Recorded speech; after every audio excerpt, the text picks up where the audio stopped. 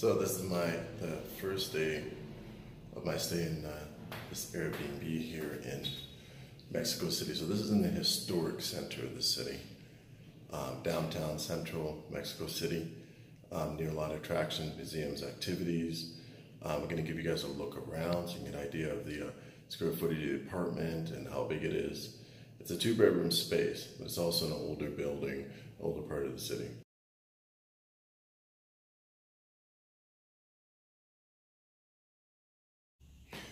So start with the master bedroom.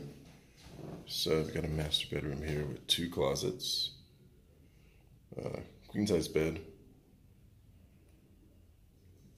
two closets, small dresser here. Um, nice little ottoman over there, some small sofa. Got a view outside, so you're gonna see. Just taking a look here. Neighborhood's older, you know, older section of the city. Um, pretty historic and close to a lot of attractions.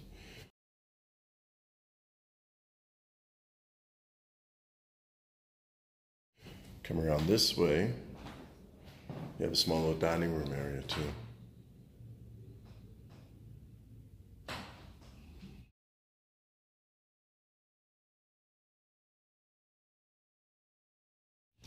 And then this is the living room space.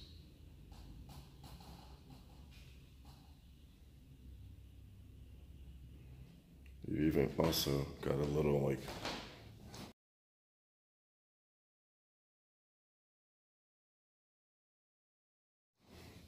It's like a balcony area. And sit here, have breakfast, chill out. Great for two people. Um, again, this is the, the view that you get the downtown area. Then we come back around this way, and you're gonna see the second bedroom because we go back into the main hallway. And we'll go to the second bedroom first. A lot of room and space. Dresser over here in the smaller bedroom.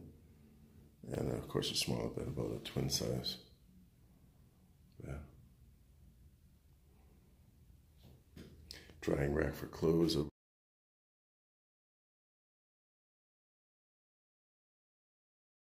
over here. Bathroom. It's kind of nice.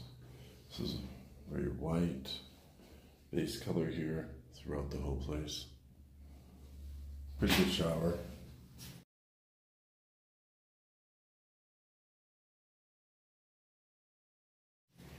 Then coming back this way.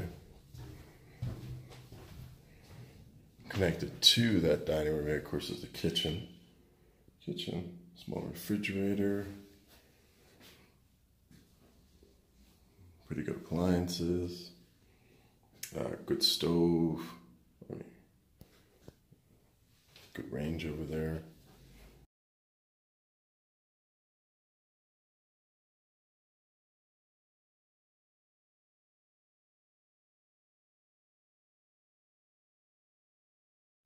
And the other thing would be other feature a lot of Airbnbs don't always have. It's going to be washing machine and dryer, so that's pretty cool. So you got that if you're for a longer term stay and have to do some clothes take care of a few things. So that gives you the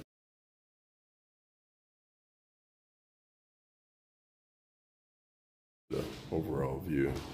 No television I can see, so you know you're not going to get your Netflix and your cable TV. But that gives you guys, coming back this way, give you the overall view of the space and where it's located.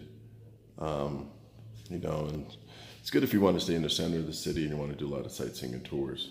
No parties and events allowed. And the price is $22.17 per night. That's what the average rate that I'm getting uh, through Airbnb.